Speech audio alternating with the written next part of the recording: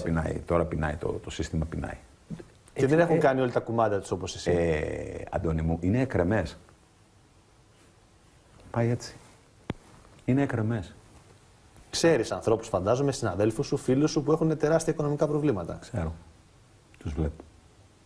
Και δουλεύουν για το τίποτα. Μην νομι- τ- Τώρα τα λεφτά, επειδή μπορεί να μην τα παίρνω, αλλά ξέρω πόσα είναι. Είναι για γέλια. Δηλαδή, είναι για να δουλεύεις σε καθημερινό και να παίρνεις 1000 ευρώ το μήνα. Και το λέμε να δουλεύεις, να κάνεις κουπί. Γιατί το καθημερινό δεν βγαίνει έτσι.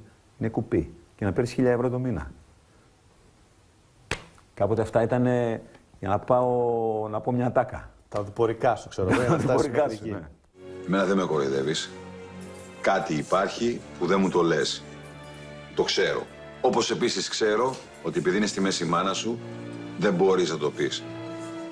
Πες μου δύο λόγια για το τατουάζ. Μια και μιλάμε. Είναι μια πάρα πολύ επιτυχημένη σειρά.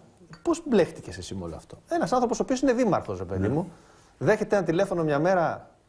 Ναι, γεια σας, περάστε να τα πούμε λίγο για μια σειρά. Πώς πώς έγινε όλο αυτό; Με παίρνει τηλέφωνο ο Κούλης Νικολάου, παραγωγός και ηθοποιός. Και μου λέει, γεια σου Απόστολη, είμαι ο Κούλης. Ναι, Κούλη μου, σε ξέρω, εντάξει. Δεν είχαμε γνωριστεί από κοντά, τον έβλεπα γιατί είχε κάνει την επιτυχία το, τον Μπρούσκο. Ε, Και λίγο πολύ γνωριζάμε. Ε, σε θέλουμε, λέει, να παίξεις, ε, να παίξεις ένα ρολάκι στο τατουάζ, έτσι, σαν, ε, αυτό, γιατί ξέρουμε ότι έχεις άλλα πράγματα εδώ. Του λέω, Κούλη μου, σε ευχαριστώ, δεν θα, δεν, δεν θα, δεν, δεν, δεν μπορώ να το κάνω. Έχω όμως ένα διαολάκο δίπλα μου πάντα, όνομα και μη χωριό, Γιώργος το μικρό του, ο οποίος μου λέει, τι σου πάνε; Λέω να βγω να παίξω σε ένα σύριαλ καθημερινό. Ποιοι; Αυτοί που κάνανε, του λέω, τον Μπρούσκο, την επιτυχία. Μου λέει, θα πας γιατί έχουμε πολιτικών όφελος.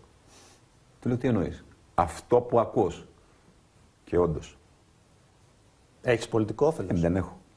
Εννοείς την αναγνωρισιμότητα η οποία συνεχίζει να. Να, να ξέρεις ότι υπάρχει ένα 51% που δεν πήγε να ψηφίσει. Ξέρεις πόσο από αυτό το 51% θα πάει να ψηφίσει λόγω τατουάζ. Δεν ξέρω, αλλά μένει να το δούμε. Θα το έτσι. δούμε. Φαίνεται ότι θα γίνει.